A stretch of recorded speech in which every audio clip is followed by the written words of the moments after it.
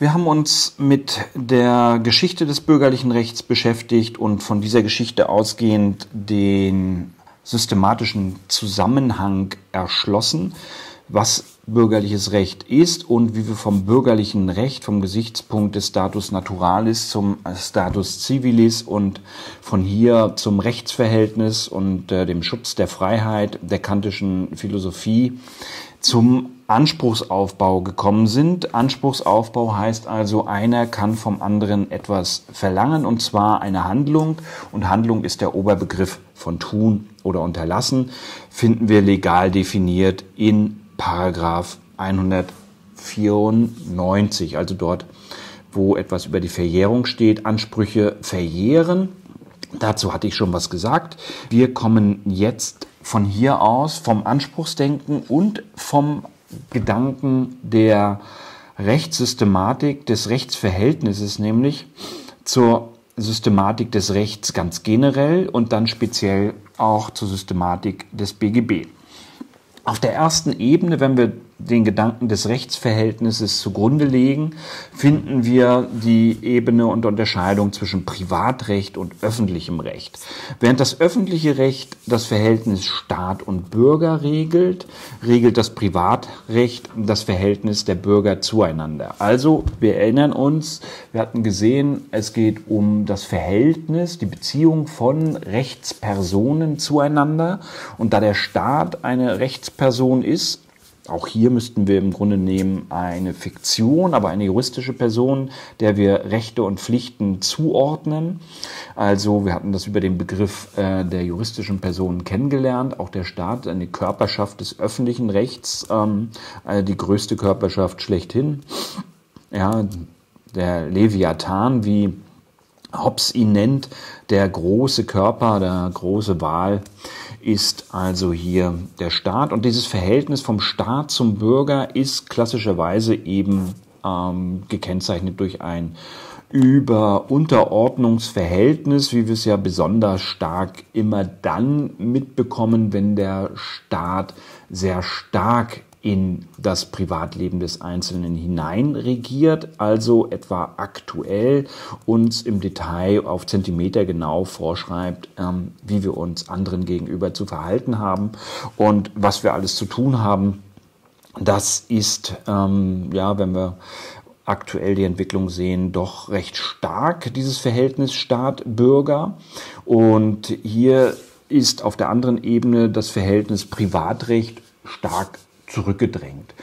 Das ändert nichts daran, dass natürlich die äh, Regelungen, die der Staat im Verhältnis ähm, der Bürger zueinander regelt, dazu werden wir gleich noch kommen, Auswirkungen natürlich auf das Verhältnis haben und trotzdem nennen wir das Ganze nicht Privatrecht. Ähm, wir gehen wirklich nur von der Rechtsbeziehung aus und sagen, wer sind die Akteure, die hier miteinander zu tun haben der Staat auf der einen Seite und der Bürger auf der anderen Seite. Der Staat handelt durch Hoheitsakt ähm, im Verwaltungsrecht regelmäßig durch ähm, den Verwaltungsakt und im Privatrecht agieren die Bürger im Regelfall eben durch Vertrag. Es kommt durchaus auch vor, dass äh, zwischen einer öffentlich-rechtlichen äh, Körperschaft und dem ähm, einzelnen Individuum ein Vertrag geschlossen wird. Und immer dann und in anderen Konstellationen kann die Abgrenzung durchaus mal zweifelhaft sein. Schauen wir uns einen äh, Beispielsfall an. Äh, wenn etwa die Stadt Berlin für ein neu eingerichtetes Schulgebäude äh, Möbel braucht, ja, dann bestellt sie für 120.000 Euro Möbel bei der Firma V und die wird auch termingerecht geliefert, ähm, diese Möbelausstattung. Die Stadt, die in Zahlungsschwierigkeiten ist, wir kennen diesen Satz ähm, von Herrn Wowereit, ähm, Berlin ist arm, aber sexy, äh, zögert die Begleichung der Rechnung immer weiter hinaus und äh, der Möbellieferant V möchte die Stadt deshalb auf Zahlung verklagen, weiß aber nicht, ob er sich deshalb an das Landgericht Berlin oder das Verwaltungsgericht Berlin, nämlich zuständig bei öffentlich-rechtlichen Streitigkeiten, wenden soll. Also wir sehen schon diese Abgrenzung im Rechtsverhältnissen zwischen Privatrecht und öffentlichem Recht hat durchaus praktische Auswirkungen, nämlich schon bei der Frage, ähm, welchen Rechtszug ich einschlage. Und äh, da wir ja schon gesehen haben, es gibt die drei großen Stränge, das öffentliche Recht, das Privatrecht und das Strafrecht. Ist es auch für die Gerichtsbarkeit durchaus relevant, dass man beim richtigen, beim zuständigen Gericht klagt. Und eine der wichtigsten Fragen ist zunächst, ähm, gehört das Ganze vor die ordentlichen Gerichte, also die Privatgerichte, die pri äh, bürgerlich-rechtliche Streitigkeiten, privatrechtliche Streitigkeiten, ähm, klären, also Amtsgerichte, Landgerichte, Oberlandesgericht bis hin zum Bundesgerichtshof. Oder gehört es vor die Verwaltungsgerichte, also Verwaltungsgericht, wenn wir in Mecklenburg bleiben, haben wir einmal in Schwerin und einmal in Greifswald und äh, das OVG, das Oberverwaltungsgericht auch in Greifswald. Ähm, das heißt, das ist ein eigenständiger Rechtszug und es ist schon wichtig zu wissen, ähm, vor welchem Gericht man klagen muss. Und wenn man da in die einschlägige Materie schaut, also etwa jetzt hier in Paragraph 40 Absatz 1 äh, Verwaltungsgerichtsordnung, dann findet man, der Verwaltungsrechtsweg ist eröffnet in allen öffentlich-rechtlichen Streitigkeiten nicht verfassungsrechtlicher Natur. Ja, wunderbar. Soweit die Streitigkeiten nicht durch Bundesgesetz einem anderen Gericht ausdrücklich zugewiesen sind. Es gibt also besondere Zuständigkeiten, etwa Sozialgerichtsbarkeit oder Finanzgerichtsbarkeit, die äh, zum öffentlich-rechtlichen Kontext äh, dazugehören, aber eben dann nicht mehr die Verwaltungsgerichte zuständig sind, sondern eben die Sondergerichte. Und das Verfassungsgericht ähm, eben in besonderer Konstellation, wenn es um Verfassungsfragen geht im Regelfall natürlich auch immer erst nach Erschöpfung des Rechtsweges, was heißt, im Zweifel muss man ohnehin erst bis zum Oberverwaltungsgericht klagen, bevor man dann den Weg zum Landes- oder zum Bundesverfassungsgericht nach Karlsruhe gehen kann. Da ist aber schon die Frage aufgeworfen, ja, in allen öffentlich-rechtlichen Streitigkeiten. Ja, welche sind denn die öffentlich-rechtlichen Streitigkeiten? Ähm, und äh, hier also der Hinweis, ja, wenn ein Träger öffentlicher Gewalt beteiligt ist, reicht das, wie in dem Beispielfall. Wenn eben sich, so sagt der Jurist, eine öffentliche Hand nur fiskalisch betätigt, also vertraglich selber nur aus den Mitteln des Privatrechts ähm, bedienen möchte, dann ist es eher eine privatrechtliche Streitigkeit. Das heißt, das Land Berlin oder der, der Möbelhändler müsste hier vor die ordentliche Gerichtsbarkeit, also im Zweifel hier vor das Landgericht Berlin äh, ziehen und dann in der Berufungsinstanz vor das Kammergericht. Das ist der Weg, der für die Zivilgerichtsbarkeit eröffnet ist. Und das findet sich dann eben in der Parallelnorm in Paragraph 13 GVG, das ist das Gerichtsverfassungsgesetz. Ähm, da steht eben drin, unter welchen Bedingungen der Rechtsweg zu den ordentlichen Gerichten eröffnet ist. Und da steht dann nur, vor die ordentlichen Gerichte gehören die bürgerlichen Rechtsstreitigkeiten, die Familiensachen und die Angelegenheiten der freiwilligen Gerichtsbarkeit sowie die Strafsachen, für die nicht entweder die Zuständigkeit von Verwaltungsbehörden oder Verwaltungsbehörden Verwaltungsgerichten begründet ist oder aufgrund von Vorschriften des Bundesrechts besondere Gerichte bestellt oder zugelassen sind. Also der Grundsatz entspricht dem Grundsatz in Paragraph 40 VWGO. Ähm, es gibt öffentlich-rechtliche Streitigkeiten, die gehören vor die Verwaltungsgerichte und es gibt bürgerliche Rechtsstreitigkeiten, die gehören vor die ordentlichen Gerichte. Und äh, das ist dann eben der Punkt, der etwa auch aktuell ähm, wieder mal hat Weimar, ähm, das Amtsgericht Weimar eine Entscheidung getroffen und da ging es tatsächlich explizit um die Maskenpflicht äh, von Schülern an den Schulen und hat die für ähm, unrechtmäßig erachtet und äh, viele haben sich sofort gefragt, das ist doch wieder mal gar nicht zuständig, das Amtsgericht ähm, Weimar aber es ist zuständig in Familiensachen. Und äh, hier ging es um eine Familiensache, denn das Kindeswohl ist den Familiengerichten ähm, anheimgestellt.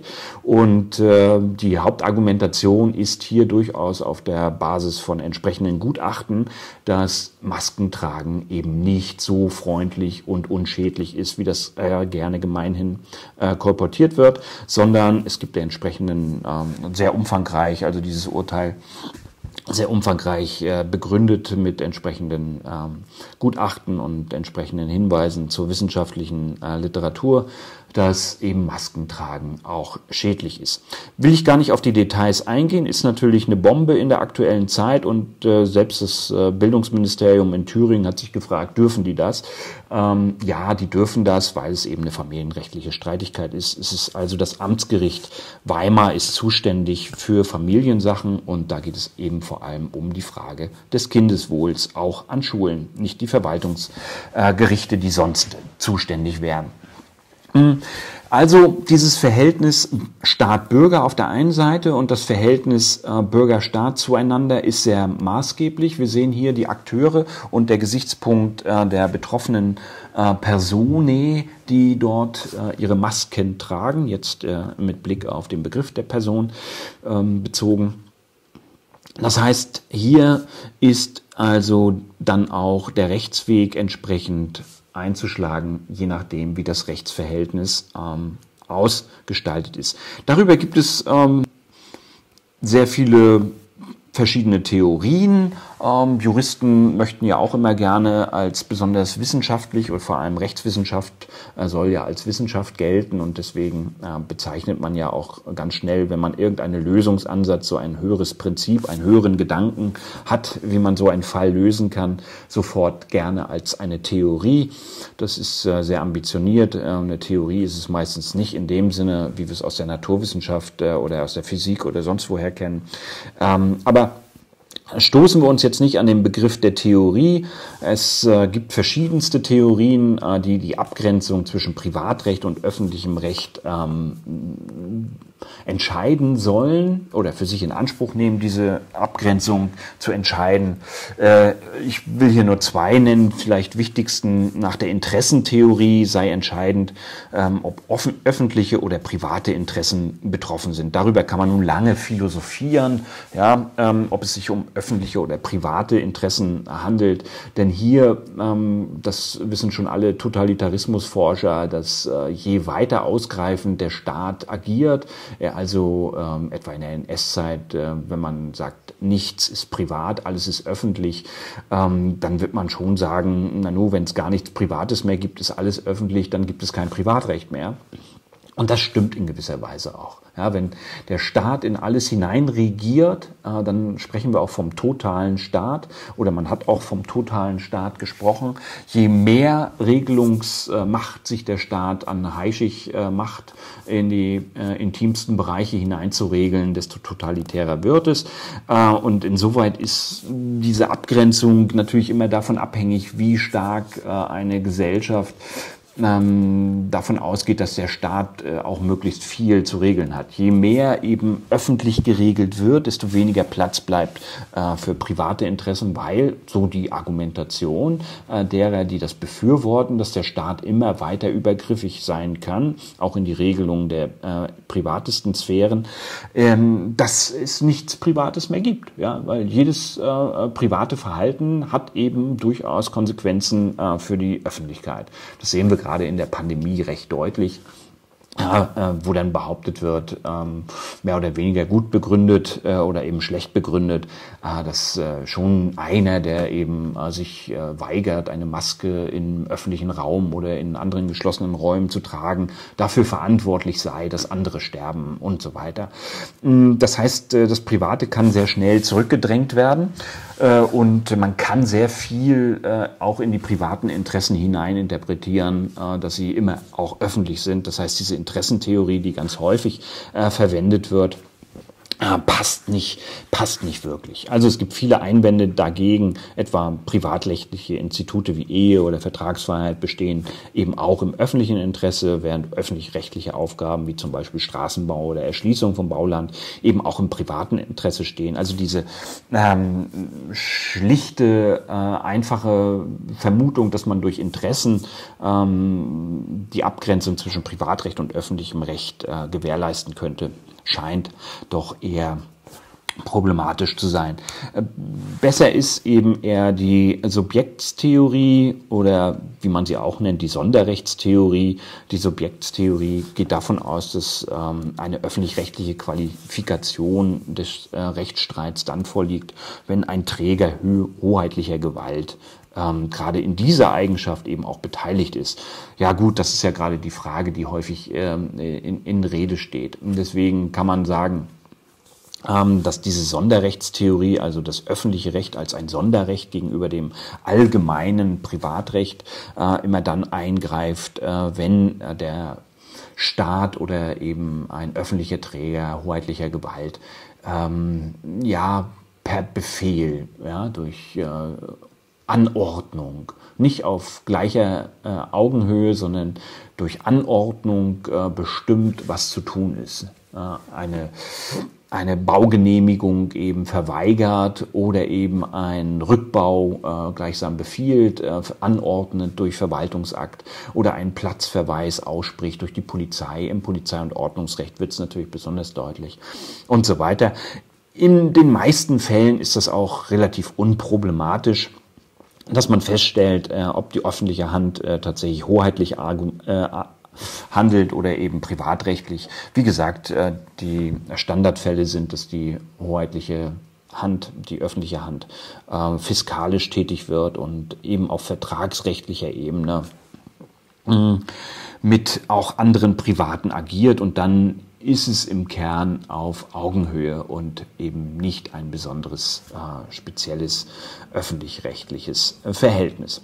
Das ist recht komplex und kompliziert, dass aber im Regelfall tatsächlich dann immer um die Frage geht, ob es, ähm, ob der Rechtsweg zu den Verwaltungsgerichten ähm, eröffnet ist äh, oder nicht, ist das vor allem ein zentrales Problem, äh, das im äh, Verwaltungsrecht, äh, vor allem hier im Verwaltungsverfahrensrecht, äh, sehr intensiv besprochen werden wird. Äh, deswegen will ich hier jetzt nicht ähm, auf die ganzen Details eingehen. Ich wollte nur dafür sensibilisieren. merken Sie sich einfach ähm, nach dem Gedanken des Rechtsverhältnisses ist die die erste Vermutung, dass es sich um eine öffentlich-rechtliche Streitigkeit handelt, wenn auf der einen Seite der Staat oder hoheitliche Träger, ähm, öffentliche Körperschaften äh, agieren. Dann besteht eine gewisse Vermutung. Und da muss man in einem zweiten Schritt fragen, okay, handelt äh, der Hoheitsträger hier tatsächlich hoheitlich oder eben nur fiskalisch? Äh, und wenn er fiskalisch handelt, dann wird ähm, eben die Stadt Berlin oder eben äh, die Universität Rostock äh, oder das äh, Bildungsministerium in Schwerin genauso behandelt äh, wie ähm, jeder andere Private, der irgendwelche äh, Möbel kauft oder andere Dinge sich anschafft. Gut, das will ich also hier gar nicht weiter vertiefen, wollte nur diese erste wichtige Ebene nochmal deutlich machen. Die zweite wichtige Ebene ist, dass Privatrecht und bürgerliches Recht eben nicht identisch sind. Ja, das wird häufig immer mal wieder falsch gemacht äh, und äh, synonym gesetzt, aber das ist nicht der Fall. Privatrecht ist der weitere Begriff. Bürgerliches Recht ist der engere Begriff. Was bedeutet das? Wir haben ja gesehen, äh, das Ausgangsmodell des Privatrechts ist äh, tatsächlich ursprünglich äh, das, was identisch war mit bürgerlichem Recht, nämlich gleiche Freiheit für gleiche Bürger. Das kann man im Grunde bis ins ähm, ja, 19. Jahrhundert hinein so sehen, für das römische Recht auf jeden Fall. Es gibt aber dann speziell ähm, ab der Mitte, ähm, spätestens der Mitte des 19. Jahrhunderts, vor allem aber dann des 20. Jahrhunderts, durchaus wieder diesen ähm, diesen Backslash, diesen, äh, Rück, äh, diese Rückwirkung, dass man eben von Status to Contract wieder umgekehrt vom Contract to Status schaut. Das heißt, einerseits ist der Status nie ganz äh, abgeschafft gewesen, etwa im Handelsrecht.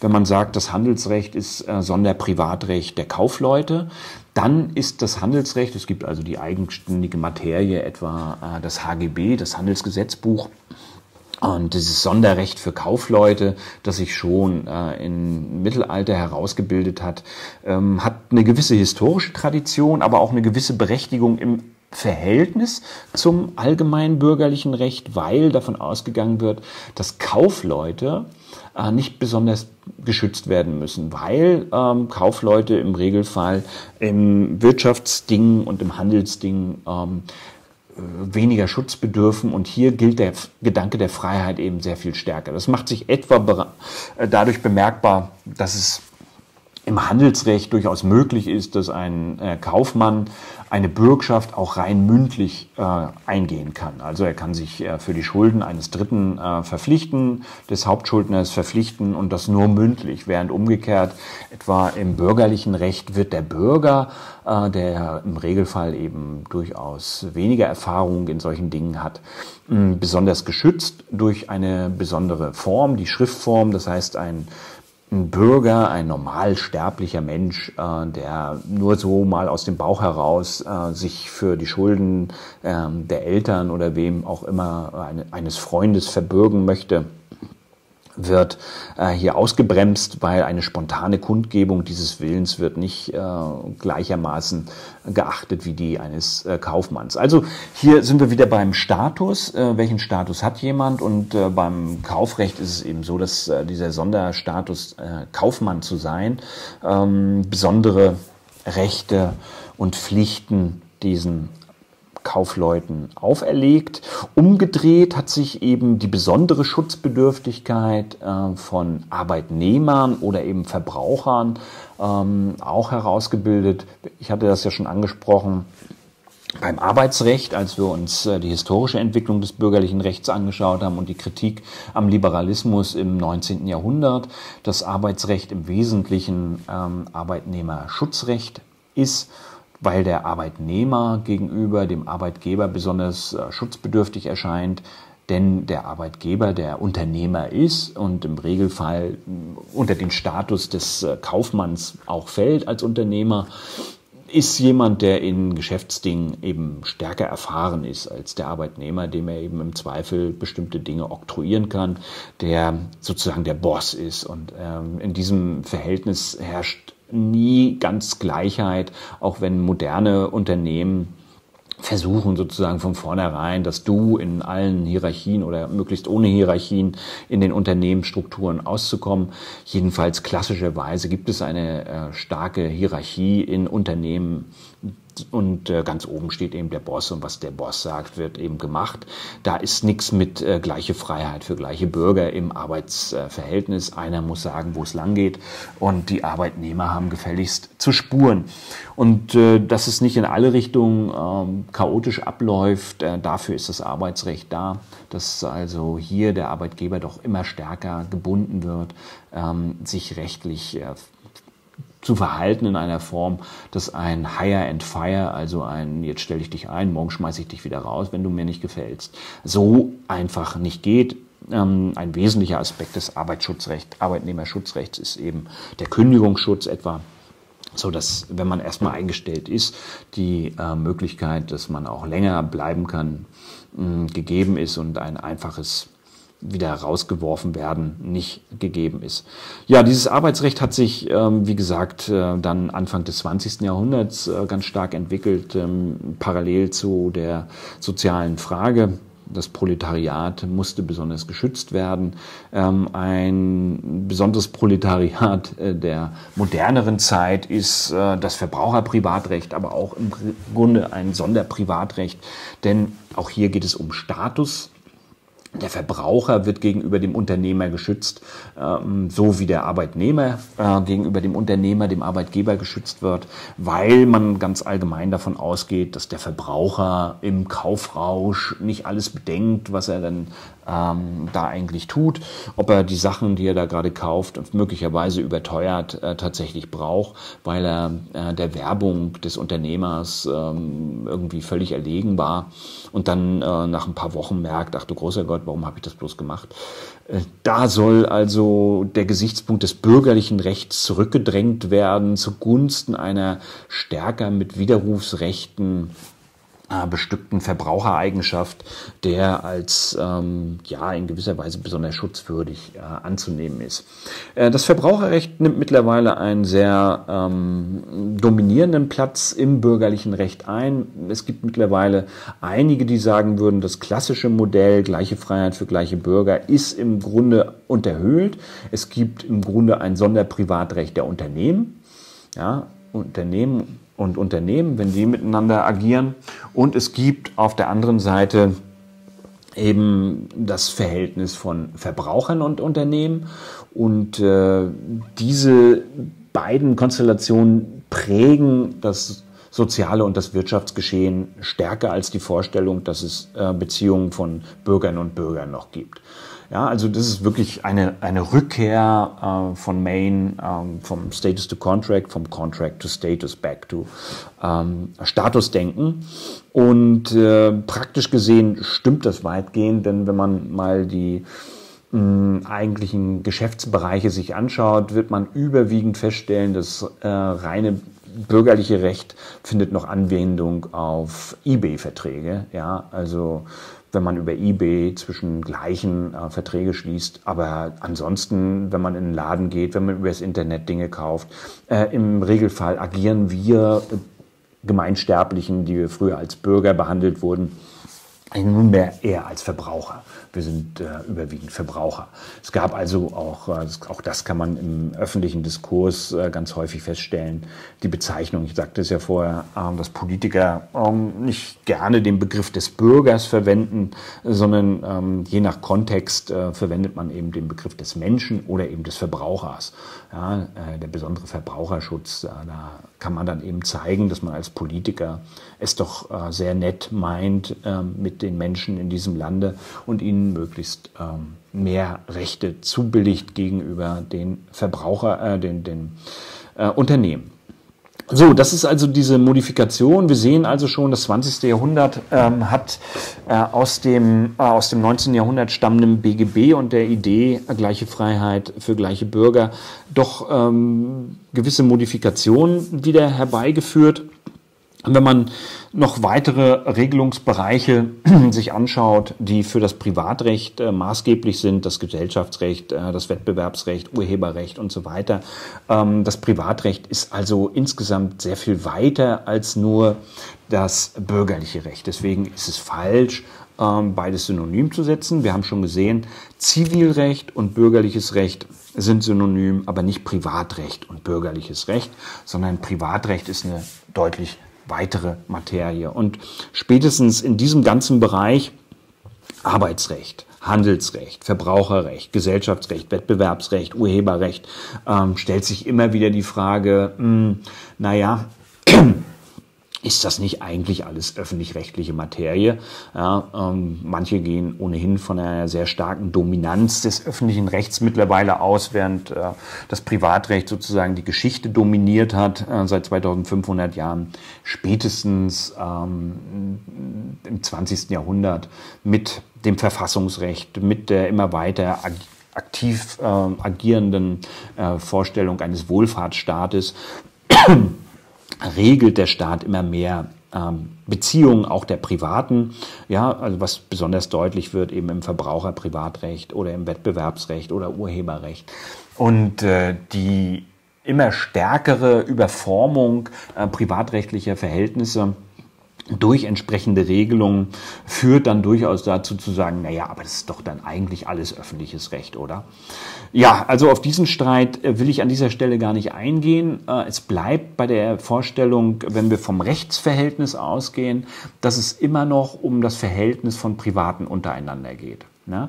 Wenn wir sagen, okay, der Staat regelt auch das Verhältnis der Privaten untereinander, das war beim bürgerlichen Recht auch schon der Fall, ja, dann, dann, dann wäre alles öffentliches Recht. Äh, und in der Tat, einige gehen, wie gesagt, so weit, insbesondere wenn auch gesagt wird, naja, mittlerweile ähm, die Verfassung regelt alles, äh, über die Verfassung steht nichts, über die Verfassung geht nichts.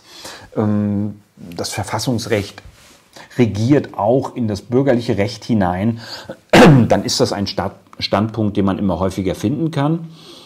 Und äh, insoweit sind die öffentlichen Rechtler doch äh, häufig äh, sehr selbstbewusst, äh, wenn sie äh, gegenüber den Privatrechtlern auftreten und sagen, naja, im Zweifel äh, können wir alles über das Verfassungsrecht, auch das Privatrecht äh, regulieren. Darüber gibt es eine lange ähm, rechtswissenschaftliche Debatte und Auseinandersetzung, auf die ich hier an dieser Stelle nicht im Detail eingehen will. Es wird immer wieder eine Rolle spielen. Wir werden immer wieder darauf ähm, zu sprechen kommen. Aus der Methodenlehre ist ja schon bekannt, dass es natürlich eine Hierarchie der Rechtsnormen gibt. Also wenn wir hier von den verschiedenen Ebenen der Rechtsmaterien sprechen, dann gibt es natürlich eine Normenhierarchie und in dieser Normenhierarchie wird ganz allgemein äh, klargestellt, dass die Verfassung über dem einfachen Gesetz und damit eben auch über dem BGB steht und äh, über verfassungsrechtliche Gesichtspunkte wurde auch viel in ähm, die Regelung des BGB hinein ähm, neu äh, interpretiert. Ähm, ich will gar nicht auf äh, viele Beispielsfälle hineingehen. Das könnte eine eigene äh, Vorlesung füllen. Aber es betrifft vor allem etwa die Gleichberechtigung im Familienrecht zwischen den Ehegatten und so weiter, die Gleichstellung äh, von ehelichen und nicht ehelichen Kindern, also im Familienrecht, aber eben auch im allgemeinen bürgerlichen Recht ähm, etwa auch die Frage, wie weit Privatautonomie gehen kann. Ähm, da ist schon das äh, Bundesverfassungsgericht äh, in vielen Entscheidungen und einigen ganz äh, zentralen Entscheidungen äh, sehr maßgeblich äh, dafür geworden, dass äh, die ursprüngliche Konzeption eines sehr liberalen bürgerlichen Rechts unter dem Gesichtspunkt Vertrag ist Vertrag ähm, modifiziert wurde in verschiedenen ähm, Perspektiven. Aber dazu dann gegebenenfalls bei den einzelnen Rechtsinstituten mehr.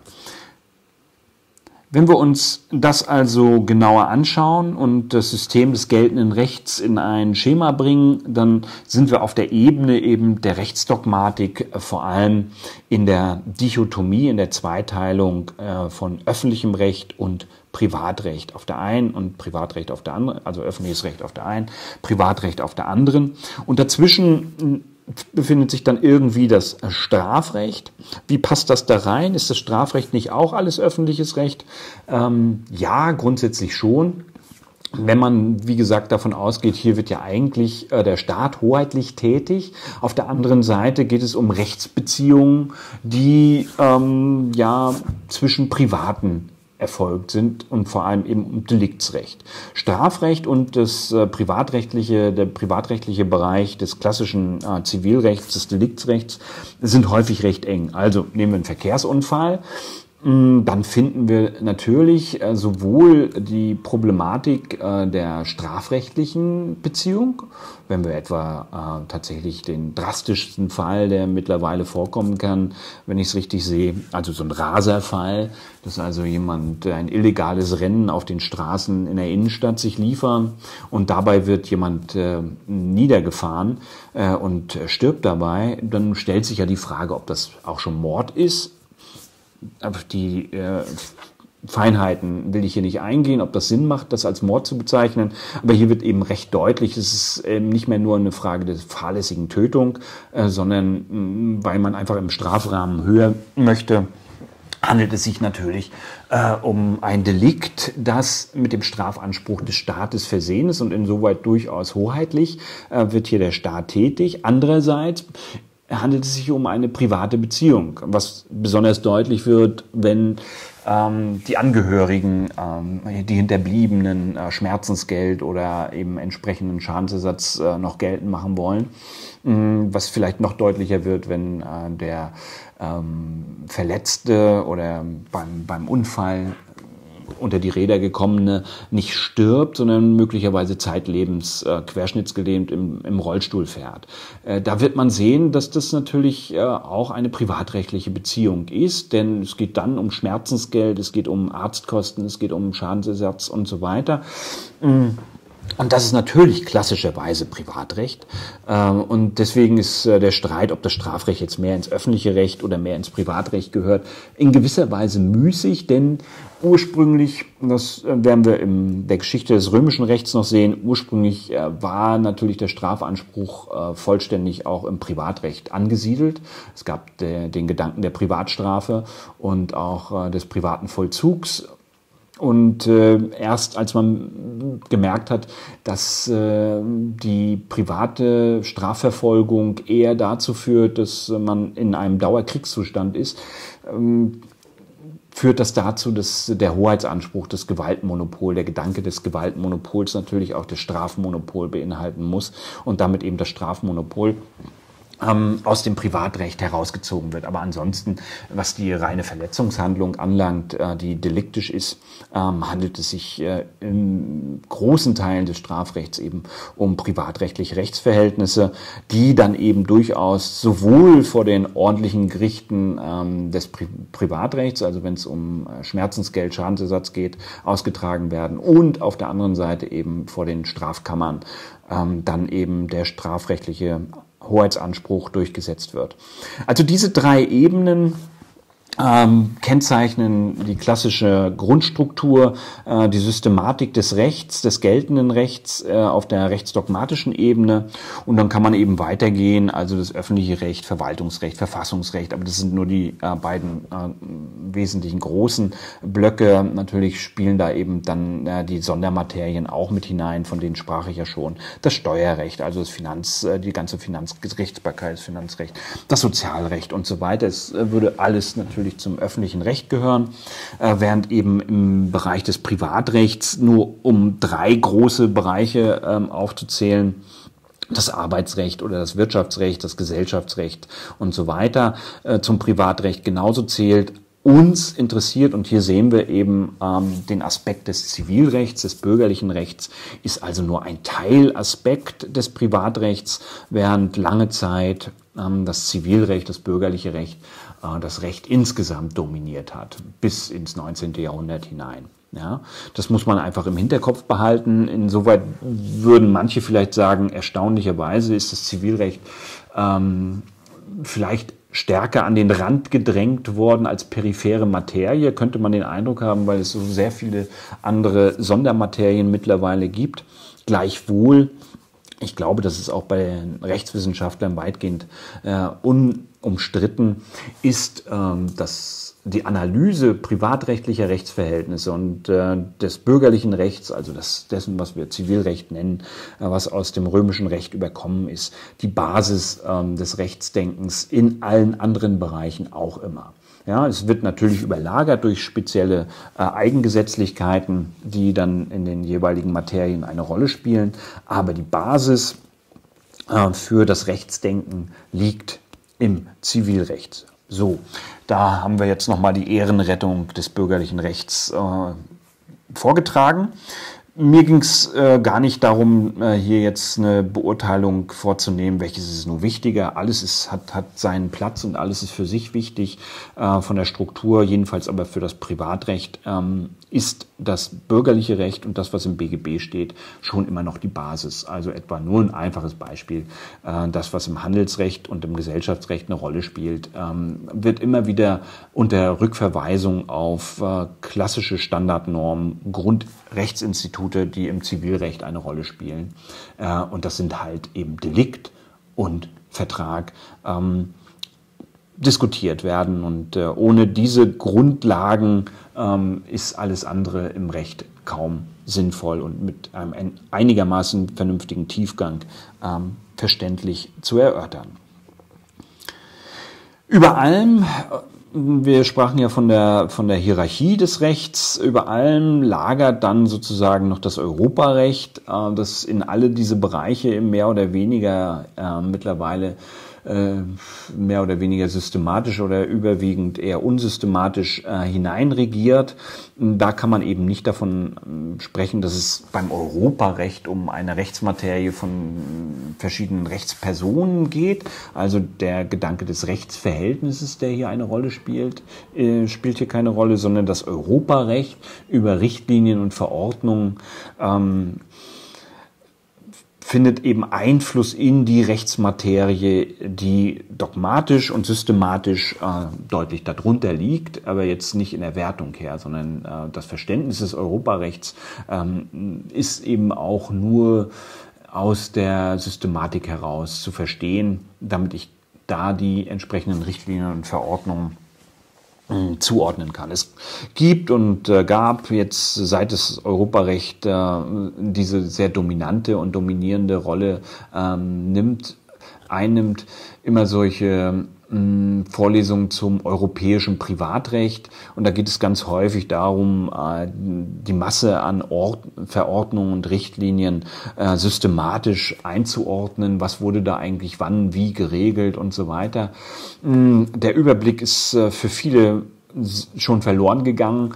Ähm, es ist manchmal glücklich, wenn eben das Europarecht und das, was in den Verordnungen und Richtlinien geregelt wird, in die jeweilige nationalstaatliche Materie hinein äh, interpretiert und umgesetzt wird vom äh, Gesetzgeber und von der Rechtsprechung dann entsprechend berücksichtigt wird.